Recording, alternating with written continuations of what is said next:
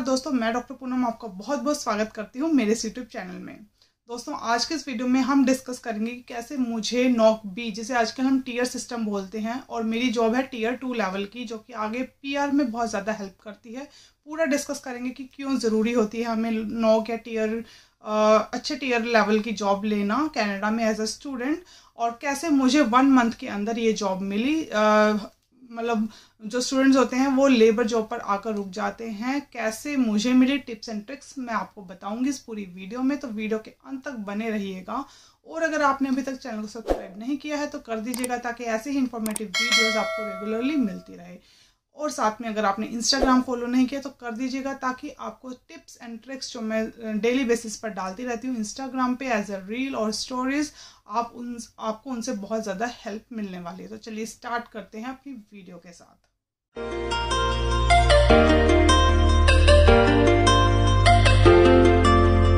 So basically इस video में बात करेंगे मेडिकल ग्रेजुएट्स के लिए, क्योंकि मैं भी एक मेडिकल ग्रेजुएट हूँ, मैंने बीएचएमएस किया हुआ है, और मैंने क्या इंडिया में जॉब की है, जो कि कनाडा में मुझे बहुत ज़्यादा हेल्पफुल रही है यहाँ पे जॉब लेने के लिए, नॉक बी और टीयर टू लेवल की जॉब के लिए। बेसिकली मैं इंडिया में थी तो मैं मेडिकल स्क्राइबिंग की जॉब करती थी, और इसके लिए एलिजिबिलिटी जो क्राइटेरिया रहता है, वो है मेडिकल ग्रेजुएट्स का। Either you are B S C medical और you are B H M S B M S B D S कोई भी आप मेडिकल ग्रेजुएशन आपने कर रखी है तो आप इस जॉब के लिए एलिजिबल होते हो। और मेडिकल स्क्राइबिंग बेसिकली होता क्या है? इसमें आप एक स्क्राइब होते हो डॉक्टर के लिए जो यूएस में वर्क करते हैं। बेसिकली अमेरिकन डॉक्टर्स के लिए आप एज अ असिस्टेंट वर्क करते हो और उनकी डॉक्यूमेंटेशन में आप हेल्प करते हैं। और ये सारा कुछ ऑनलाइन चलता है। मैं इंडिया से जॉब करती थी। ऑनलाइन सारा नेटवर्क था और नाइट शिफ्ट्स की जॉब होती है।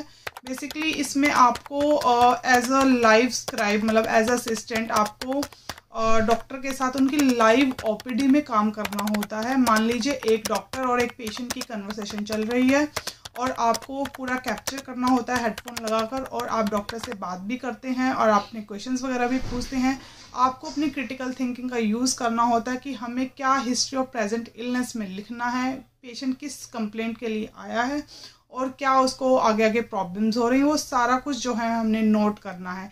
इन शॉर्ट अगर मैं बताऊँ तो हमें पूरी एक, जो हम हाथ से लिखते हैं अपनी केस हिस्ट्री वगैरह, या हम किसी भी हॉस्पिटल में जाते हैं और वहाँ पे डॉक्टर हमारी हिस्ट्री पूछता है कि आपको पास मेडिकल हिस्ट्री क्या है, आपकी सर्जिकल हिस्ट्री क्या है, आप क्या मेडिसिन लेते हैं, या फिर ये प्रॉब्लम जो आपको अभी हो रही है, वो कितने टाइम से आपको हो रही है।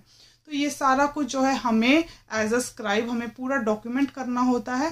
बिकॉज़ अमेरिका का जो सिस्टम है उसमें एक health electronic health record system चलता है।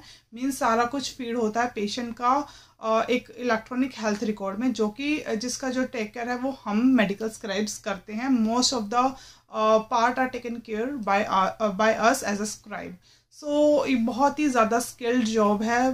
इसका जो आ, मैं बोलूँगी ट्रेनिंग जो है वो बहुत ज़्यादा हार्ड होती है। उसके बाद जब आपका एक बार हार्ड टिक जाता है तो आपके लिए बहुत ज़्यादा अच्छी और इजी जॉब ये बन जाती है। सो बेसिकली 2019 में मैंने ये जॉब स्टार्ट की थी। टोटल मुझे सिक्स टू सेवन मंथ्स लगे थे ट्रेनिंग पीरियड के क्योंकि जो मैंने कंपनी ज्वाइन की थी उसका ये एक नॉर्मल क्राइटेरिया था six two seven months training का। Okay okay? So so, training में आपको सबसे फ़र्स्ट थिंग जो मेन होती है वो है आपकी टाइपिंग स्पीड मेरी ज़ीरो मुझे कुछ नहीं आता था टाइपिंग का मैं पूरा देख देख के कीबोर्ड पे टाइपिंग करती थी but but within one month मेरी जो स्पीड है वो फोर्टी वर्ड्स पर मिनट की हो गई. विद प्रैक्टिस आप भी कर सकते हैं. आजकल ऑनलाइन फ्री टाइपिंग स्किल्स के लिए काफ़ी सारी एप्लीकेशंस हैं. आप अगर सर्च करेंगे एक है टाइपिंग डॉट कॉम या फिर मैं आपको डिस्क्रिप्शन में ज़रूर उसके लिंक दूँगी जिससे आप प्रैक्टिस कर सकते हैं अपनी टाइपिंग की और जिससे मैंने भी प्रैक्टिस की है। तो आपको कनाडा में आने के लिए अगर आप यही जॉब कनाडा में लेते हैं तो आपको जो जो टेस्ट पास करने पड़ेंगे, वो है आपका टाइपिंग स्किल जो कि 60 वर्ड्स पर मिनट इनको चाहिए होता है विद 98 परसेंट एक्यूरेसी मतलब आपकी 98 परसेंट आपकी जो आपने टाइप किया है, वो ठीक होना चाहिए। टू परसेंट अगर आपने गलत स्पेलिंग लिख दिया या कुछ गलत टाइप कर दिया तो चलेगा। सो so, उसके लिए आपको इंडिया में अभी से ही प्रैक्टिस करनी शुरू करनी पड़ेगी। अगर आप मई इनटेक के हैं आप अप्रैल में आ रहे हैं तो आप थोड़ा सा लेट हो गए हो इस चीज़ के लिए बट सितंबर इनटेक या फिर अगले साल जो आना चाहते हैं स्टूडेंट्स अभी प्लान कर रहे हैं उनके लिए बहुत ही अच्छा मौका है ये। अगर आप इस चीज़ का एक्सपीरियंस भी ले लेते हो किसी भी कंपनी में एक्सपीरियंस ले लेते हो तो बहुत ही आपको इजी रहेगा और पेड एक्सपीरियंस पेड ट्रेनिंग जो है आ, इंडिया में दी जाती है इन सब चीज़ों के लिए मेडिकल स्क्राइबिंग के लिए। एक वर्ड यूज़ होता है transcription transcription is different thing उसमें सिर्फ़ आप ऑडियो सुनते हो और just type and type and type उसको इंटरप्रेट करके आप टाइप करते जाते हो वर्बिटम करते हो मतलब जो वो बोल रहा है वो आप टाइप कर रहे हो। बट मेडिकल स्क्राइबिंग में ऐसा नहीं होता है। आपको इंटरप्रेट करना पड़ता है कुछ चीज़ें पेशेंट बोल रहा है आपको वो छोड़नी पड़ती हैं जो इम्पोर्टेंट चीज़ें हैं वो आपको पूरा नोट बनाना होता है।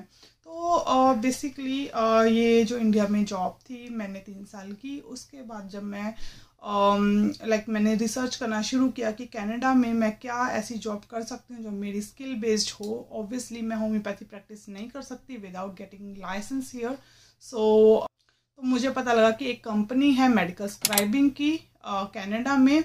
सो so, ये हायर करती हैं। बस एलिजिबिलिटी होनी चाहिए कि आप कनाडा में वर्क करने के लिए एलिजिबल हो और आपको एक्सपीरियंस हो थोड़ा तो चलेगा कोई इशू नहीं होता। इनको इतना ज़्यादा ये क्वेरी नहीं करते हैं पूछते नहीं हैं।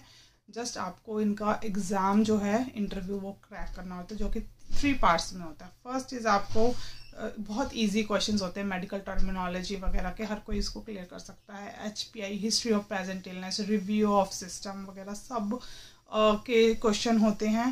एंड उसके बाद आपको जो सेकंड अगर आप ये क्लियर कर लेते हो, जिसमें आपको 90 से अबव मार्क्स चाहिए होते हैं स्क्रीनिंग क्लियर करने के लिए। सेकंड जो टेस्ट आता है, वो है आपका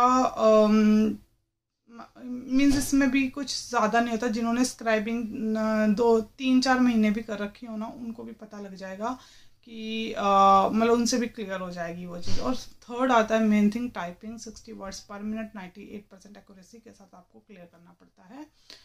सो so, ये है जॉब मेडिकल स्क्राइबिंग की और सेवेंटी डॉलर्स पर आर का ये वेज देते हैं जो कि मिनिमम से थोड़ा सा ज़्यादा है। आई नो कि बहुत ज़्यादा नहीं है बट स्टार्टिंग में बहुत अच्छा वेज है। कनाडा में एज अ स्टूडेंट अगर आप वर्क कर रहे हैं तो। Uh, तो ये था मेरा एक्सपीरियंस और ये नोक बी लेवल की जॉब है टीयर टू लेवल की जॉब है। मैं इसका जो लाइक स्क्रीनशॉट है कि ये टीयर टू में आती है या नहीं, वो मैं आपको यहाँ पे लगा दूँगी, आप देख सकते हैं। और अगर हम बात करें कि टीयर टीयर टू या फिर नॉक बी लेवल की जॉब्स क्यों ज़रूरी है कनाडा में? बेसिकली जब आप एक बार ग्रेजुएट हो जाते हो यहाँ से, उसके बाद आप नॉक बी या टीयर टू लेवल की जॉब ढूंढना शुरू करते हो बिकॉज़ आपको पीआर की फ़ाइल अप्लाई करने के लिए एक साल का एक्सपीरियंस चाहिए होता है as you worked as in TEER two level job और नॉक बी अगर आपने की है तो ही आप जो है अपना पीआर के लिए अप्लाई कर सकते हो। तो मुझे uh, अभी से ये जॉब मिल गई है मेरा काफ़ी एक्सपीरियंस हो जाएगा। आई नो कि part time experience during study account नहीं होता है लेकिन जो मेरे स्टडी के बाद के मंथ्स है जब मोस्ट ऑफ़ द स्टूडेंट्स जो हैं टाइम वेस्ट करते हैं ढूँढने में जॉब को नॉकबी लेवल की तो मुझे, मेरे पास ऑलरेडी होगी and I would so that's all about the video अगर आपको uh, कुछ पूछना है कि मेडिकल स्क्राइबिंग के लिए आप कैसे अप्लाई कर सकते हो इंडिया में रहकर तो आप मुझे नीचे कमेंट बॉक्स में ज़रूर पूछिएगा। मैं आपकी हेल्प करने की पूरी कोशिश करूँगी और मुझे इंस्टाग्राम पर फॉलो कर लीजिएगा ताकि मैं वहाँ पे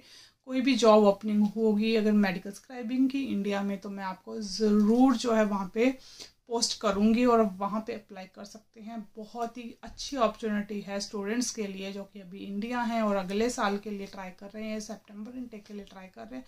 तो थोड़ा सा एक्सपीरियंस जो है मेडिकल स्क्राइबिंग का ज़रूर ले लीजिए, आपको यहाँ पे डेफिनेटली काम आने वाला है।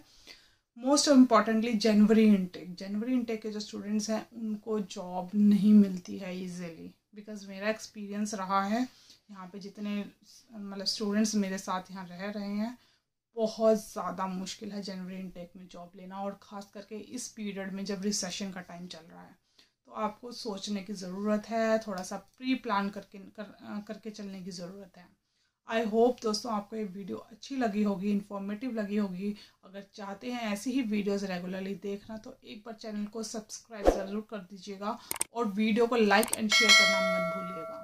तो चलिए मिलते हैं अपनी नेक्स्ट वीडियो में तब तक के लिए स्टे हेल्दी स्टे सेफ़ नमस्कार।